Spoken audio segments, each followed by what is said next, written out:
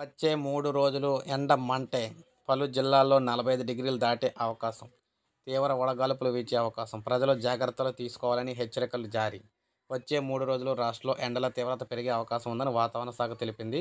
ఇప్పటికే పలు చోట్ల సాధారణ ఉష్ణోగ్రతల కంటే రెండు నుంచి నాలుగు డిగ్రీలు ఎక్కువగా నమోదవుతూ ఉన్నాయి. ఇక ఈ నేపథ్యంలో ముఖ్యంగా కోస్తా ఆంధ్ర ప్రాంతంలో నలభై ఐదు డిగ్రీల కంటే ఎక్కువ ఉష్ణోగ్రత నమోదయ్యే అవకాశం అయితే ఉంది. రాష్ట్రంలోని నూట ముప్పై ఆరు మండలాల్లో తీవ్ర వడగాల్పులు నూట డెబ్బై మూడు మండలాల్లో వడగాలుపులు వీచే అవకాశం అయితే ఉందని చెప్పేసి ఐఎండీ తెలియజేసిందనమాట అంబేద్కర్ జిల్లా విజయనగరం పార్వతీపురం మన్యం అల్లూరు సీతారామరాజు అనకాపల్లి కాకినాడ అంబేద్కర్ కోనసీమ ఉభయ గోదావరి ఏలూరు కృష్ణా ఎన్టీఆర్ గుంటూరు బాపట్ల పల్నాడు ప్రకాశం నెల్లూరు జిల్లాల్లో కొన్ని ప్రాంతాల్లో నలభై ఐదు నుంచి నలభై డిగ్రీల ఉష్ణోగ్రత కూడా నమోదయ్యే అవకాశం అయితే ఉందని చెప్తున్నారు. సో ఈ నేపథ్యంలో ప్రజలందరూ కూడా అప్రమత్తంగా ఉండాలని చెప్పేసి ఆంధ్రప్రదేశ్ ప్రభుత్వం వాతావరణ విభాగం అయితే తెలియజేయడం అయితే జరిగిందనమాట సో ప్రతి ఒక్కరు కూడా జాగ్రత్తగా ఉండాలి. ఉదయం పదకొండు నుంచి పట్టుకొని సాయంత్రం ఐదు గంటల వరకు కూడా మ్యాక్సిమం అవసరం ఉంటేనే కానీ బయటకు అయితే రావద్దని చెప్తున్నారు.